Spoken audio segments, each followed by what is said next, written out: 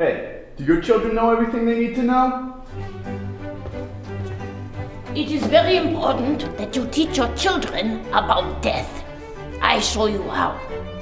Hello, what is your little name? Ronnie. Ronnie, a very, very nice name. I like it very much. And Ronnie, I bet I have something you might like. A little friend. Look at your little friend. Hi. Yes, what is his little name? Dominic. Dominic, a very good name. I like it. Tell Dominic you like him and you're glad he's your friend. I like you, Dominic. I'm glad you're my friend. Very good. Now, how about if you and Dominic take a little trip together?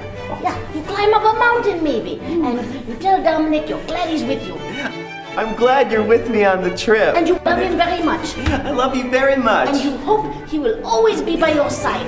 I hope you'll always be by my side. Yes, you would never want to be without uh, without him now, would you? Oh, I would never want to be without him. Very good. Now put little Dominic on the ground.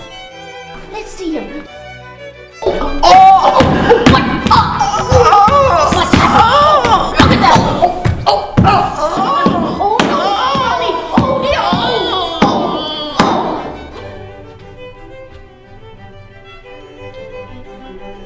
Your mother has cancer.